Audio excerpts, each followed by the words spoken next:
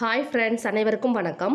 இன்றைக்கி நம்ம சேனலில் ரொம்பவே டேஸ்ட்டான ராகி ஆனியன் ஊத்தப்பமும் அது கூட வச்சு சாப்பிட்றதுக்கு கார சட்னியும் எப்படி பண்ணுறதுன்னு தான் பார்க்க போகிறோம் ஒரு பத்து நிமிஷம் இருந்தால் போதுங்க இந்த ஊத்தப்பமும் இந்த கார சட்னியும் நம்ம பண்ணிடலாம். ரொம்ப ரொம்ப ஈஸியான ஒரு ரெசிபி சாப்பிட்றதுக்குமே ரொம்ப ரொம்ப சூப்பராக இருக்குங்க. கண்டிப்பாக நீங்களும் ஒரு முறை வந்து ட்ரை பண்ணி பாருங்கள் இப்போ இந்த ஊத்தப்பம் வந்து நம்ம எப்படி பண்ணுறதுன்னு சொல்லிட்டு நம்ம பார்க்கலாம்.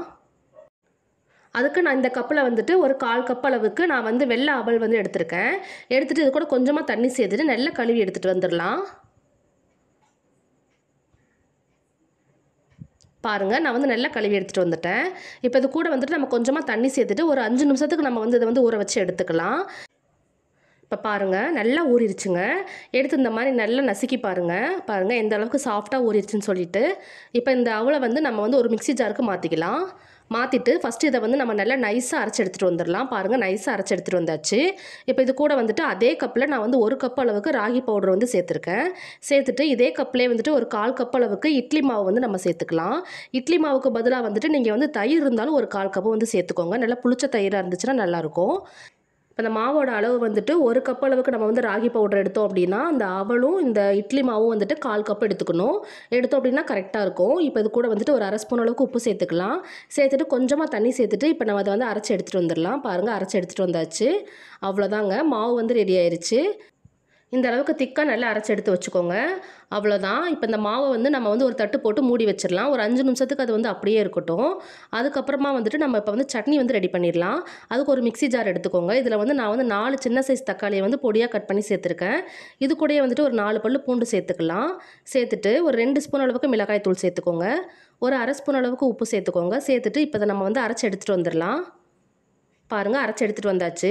இப்போ வந்து ஒரு கடாய் எடுத்து வச்சுக்கோங்க. இதில் வந்துட்டு ரெண்டு ஸ்பூன் அளவுக்கு ஆயில் சேர்த்துக்கோங்க. சேர்த்துட்டு ஒரு அரை ஸ்பூன் அளவுக்கு கடுகு ஒரு அரை ஸ்பூன் அளவுக்கு உளுந்து கொஞ்சமாக கருவேப்பிலை இலை சேர்த்துட்டு அது கூடயே கொஞ்சமாக பெருங்காயத்தூளும் சேர்த்துக்கோங்க. சேர்த்துட்டு எல்லாத்தையும் ஒரு டைம் நல்லா கலந்து விடுங்க. நல்லா பொரியட்டும். இப்போ பாருங்கள் நல்லா பொரிஞ்சிருச்சு. இப்போ நம்ம வந்து அரைச்சி வச்சுருக்கிற அந்த தக்காளியை வந்து சேர்த்துக்கலாம். சேர்த்துட்டு எல்லாத்தையும் ஒரு டைம் நல்லா கலந்து விடுங்க.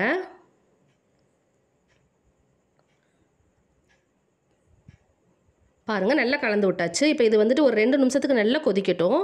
நல்லா கொதிச்சிச்சு அப்படின்னா நல்லா திக்காயிருங்க. இப்போ பாருங்கள் நல்லா திக்காயிருச்சு. அவ்வளோதான் சட்னி வந்து ரெடி ஆயிடுச்சு பாருங்கள் எவ்வளோ ஈஸியாக பண்ணிட்டோன்னு சொல்லிட்டு இந்த சட்னி வந்து சாப்பிட்றதுக்கு ரொம்ப ரொம்ப டேஸ்ட்டாக இருக்குங்க. இப்போ நம்ம வந்து ஊத்தப்பம் வந்து ரெடி பண்ணிடலாம். அதுக்கு வந்து ஒரு தோசைக்கல் எடுத்து வச்சுக்கோங்க. எடுத்து வச்சுட்டு கொஞ்சமாக ஆயில் சேர்த்துக்கலாம். சேர்த்துட்டு கல் வந்து நல்லா சூடானதுக்கப்புறமா கொஞ்சமாக மாவு எடுத்து நம்ம ஊற்றிக்கலாம்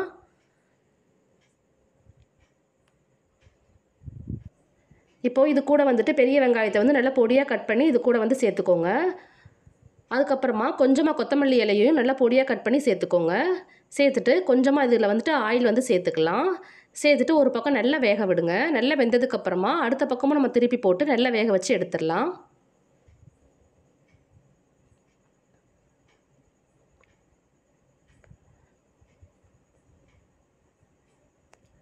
பாருங்கள் அவ்வளோதான் ஃப்ரெண்ட்ஸ் எவ்வளோ ஈஸியாக பண்ணிட்டோன்னு பாருங்கள் இப்போ இந்த ஊத்தப்பம் வந்து ரெடி ஆயிடுச்சு ரொம்ப ரொம்ப ஈஸியாக பண்ணிடலாங்க. சாப்பிட்றதுக்குமே ரொம்ப ரொம்ப சூப்பராக இருக்கும். கண்டிப்பாக நீங்களும் ஒரு முறை வந்து ட்ரை பண்ணி பாருங்கள் ட்ரை பண்ணி பார்த்துட்டு எப்படி இருக்குன்னு சொல்லிட்டு கீழே கமெண்ட் செக்ஷனில் சொல்லுங்கள் இந்த வீடியோ வந்து உங்களுக்கு பிடிச்சிருந்துச்சு அப்படின்னா உங்கள் ஃப்ரெண்ட்ஸுக்கும் ஷேர் பண்ணிக்கோங்க.